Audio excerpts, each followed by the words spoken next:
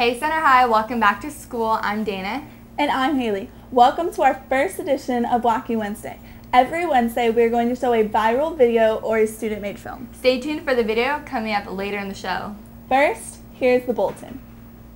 If you have a hole in your schedule, go to the counseling office before that class period, sign in for that period, talk to a counselor, and proceed to the rest of your classes.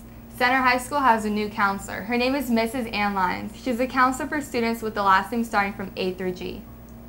Makeup Day for student ID and undergrad pictures will be during lunchtime on August 17th for 9th and 10th graders and August 18th for 11th and 12th graders. Yearbooks are now on sale, so buy it as soon as possible. Now it's time for today's feature. This video is to give the incoming freshmen tips on their first year of high school.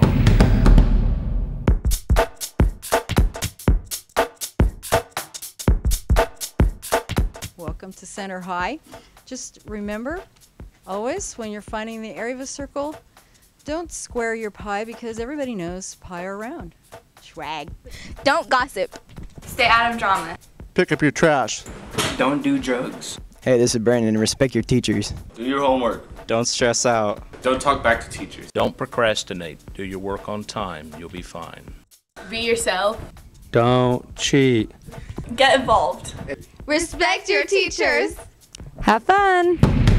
That's it for today on Wacky Wednesday. Tune in tomorrow for the season debut for Cougar Connection CTV's extended news program. You will meet the new activities director and Mr. Jordan will explain why the 100 wing is closed this year. I'm Dana. And I'm Haley. Have a wacky Wednesday.